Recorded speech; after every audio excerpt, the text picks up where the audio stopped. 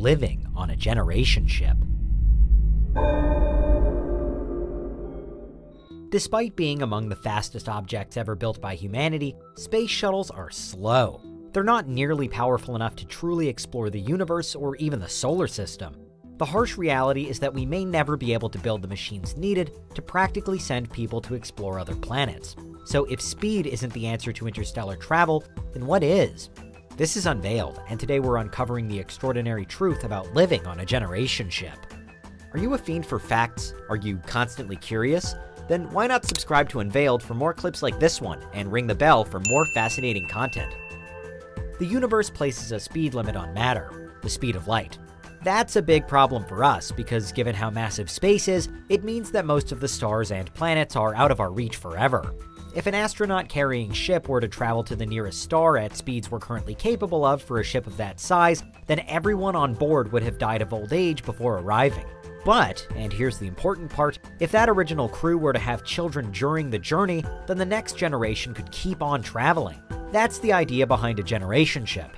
A spaceship large enough to house a group of people that will live and die in transit. But by allowing future generations to take over, humanity as a whole could survive the long, long stretches of time needed to voyage across space, and one day make it to a distant star system. In theory, a generation ship makes interstellar travel to anywhere possible. These ships are a popular subject in science fiction because of this, but also for a few other reasons. For one, some argue that they could one day be needed. If any kind of catastrophe were to happen to us on Earth, like an extinction or an unprecedented natural disaster, then a generation ship out in the cosmos would survive us, and anyone on board would suddenly become the last of life from this planet. But even without some kind of Armageddon, proposed generation ships would be on the front line of our research for new home planets. Right now, we have only a few second Earth candidates based on brief sightings made by our most powerful telescopes, but reaching any of them is a task that would take hundreds or thousands of years. By the time a generation ship had journeyed to them then, it will have staged whole eras of human history. But if the crew members alive at the time of arrival were able to start colonies on other habitable worlds, then they would have succeeded in spreading humanity across the cosmos. Where generation ships are concerned, it's a case of playing the long game. So what would a ship like that look like? First, it would have to be massive, as in almost inconceivably huge, and it would have to house an initial crew of at least 100 to 500 people, ideally more. While estimates on the minimum viable population for humans do vary, that is, the minimum number of people required for long term survival, 500 is usually held as the lower limit. Life for these 500 would be so far removed from life on Earth, though. It's thought that human beings would suffer various health issues if they lived in zero or low gravity environments for a long time, so reliably simulating gravity would be key. It's another reason why the size of the ship would be so important.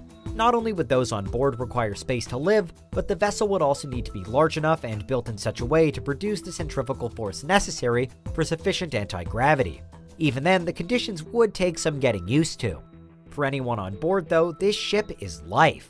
Their long distance mission may have started with strong links to the Earth it was leaving behind, but those connections would fade over time, and later generations could even grow to forget Earth altogether, living their lives without ever seeing much besides the stars outside and infinite stretches of darkness. Naturally, then, a unique society would form, but one where discipline and order were key. Children growing up wouldn't have many options for careers, understanding that everything they do should be for the better of the ship. But the idea of purpose would likely be passed from generation to generation, the belief that their own seemingly limited lives were allowing for intergalactic exploration. In the event that the ship was actually escaping an Earth in some kind of trouble, then there'd also be the knowledge on board that they had somehow evaded their own planet's demise. Clearly, tensions could run high, especially given the probable monotony of everyday life. Even if those on board had futuristic ways to change and update the entertainment options available to them, including movies, music, and books, being endlessly confined within the same metallic structure, always cast thousands of miles from anything else of note, could have a dramatic impact on a person's mental health.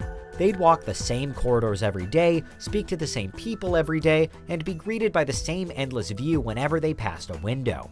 They say variety is the spice of life, but there'd be precious little variety here. Maintaining the ship's gardens would be one of the most crucial tasks, seeing as they'd be a source of oxygen, food, and a tangible reminder of Earth. In terms of produce, food from the gardens would need to offer big yields that are quick to grow and have a high energy content. In the movie The Martian, the main character opts for potatoes, but other top contenders for space farming include tomatoes and corn. Whatever the case, diet on a generation ship is another aspect of life that would become very predictable very quickly. And it doesn't get a great deal better when we consider the water that would be available to wash it all down. Water would be recycled in much the same ways as it is for astronauts on the International Space Station, as a filtered product of everyone else's sweat, urine, and wash water. But if that sounds disgusting, it actually shouldn't. Astronaut water is said to be cleaner than what most of us drink on Earth. Other than food, drink, the mental strain, and the effects of anti gravity, arguably the most pressing concern for those on a generation ship would be radiation. For NASA, prolonged radiation exposure is one of the chief threats on any prospective deep space mission, let alone a continuous voyage across the universe. On Earth, we're protected from the effects of radiation by our magnetosphere, but on spaceships as we currently understand them, there's no such cover. In a hypothetical time when generation ships are a reality, perhaps radiation proving will also have improved enough to make the ship impenetrable. If it hasn't, then those inside would be at far higher risk of developing some cancers. And seeing as high levels of radiation can even damage our DNA, it'd pose not just a risk to the individual, but also to the future generations that the mission relies on. Elsewhere, the focus would simply be on keeping the ship running. Engine failures, power outages, damage to the outer walls, they could all prove deadly and could all happen at any moment of any day. Say the means of artificial gravity faltered. Everyone and everything on board, from the food to the furniture, would suddenly be scattered. Say the thrusters shut down. An already incredibly long journey just got a little longer. In reality, living on a generation ship would be a round the clock job. With so many imminent dangers and potential problems to contend with, even during downtime, it'd be impossible to totally switch off from the task at hand, which is surviving. From the moment you were born to the moment you died, you'd be a vital component to a small and unique social setup suspended in space. There'd be no time for childhood and no option of retirement. By simply existing on the ship, you'd be a valuable part of it. The daily grind could prove almost unbearable at times, but there'd be little choice but to complete it in the hope that you, your children, or your children's children could one day step off of the ship and onto a brand new and exciting planet. What do you think? Is there anything we missed? Let us know in the comments, check out these other clips from Unveiled, and make sure you subscribe and ring the bell for our latest content.